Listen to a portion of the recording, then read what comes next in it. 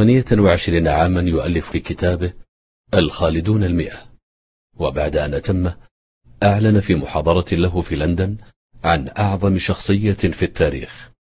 وكان الجمهور يقاطعه بالاحتجاج والصراخ كي لا يتم حديثه الذي قال فيه وقف الرجل في قرية صغيرة في مكة. قال للناس فيها أنا رسول الله إليكم.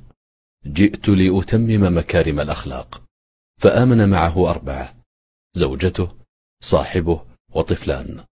ثم قال مايكل هارت الآن بعد مرور 1400 عام عدد المسلمين تجاوز مليارا ونصفا وكل يوم في ازدياد. فلا يمكن أن يكون كذبا لأنه ليس هناك كذبة تعيش 1400 سنة. ولا يمكن لأحد أبدا أن يخدع أكثر من مليار ونصف.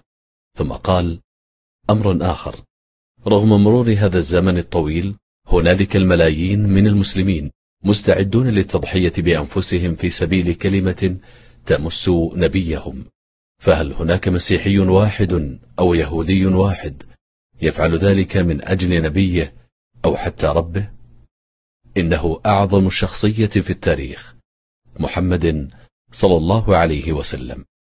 بعدها ساد صمت رهيب إجلالا لسيد البشر صلى الله عليه وسلم.